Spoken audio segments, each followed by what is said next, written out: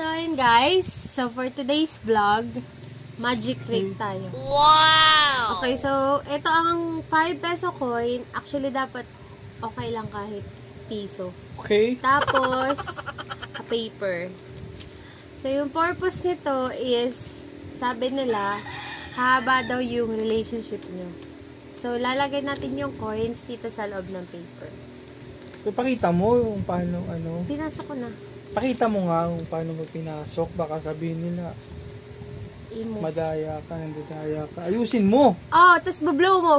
Oh, blow. Blow! Kala ko Blow!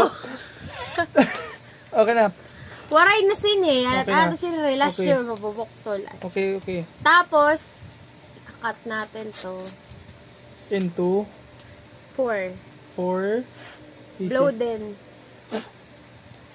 Kakusog. Dapat di rin makusog.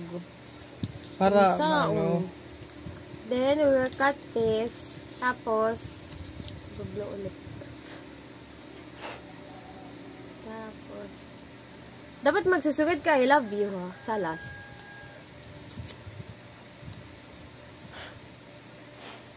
Pag said na, I love you. I love you. Tapos, ik, ya, ano pa Ikaw mag-I natin love to. you to ka. Oh! Ginagawa mo! Tapos, dapat pa, dapat natig, kuan na, natig kusog na yun. Ah, yung sige, lakasan blow. natin.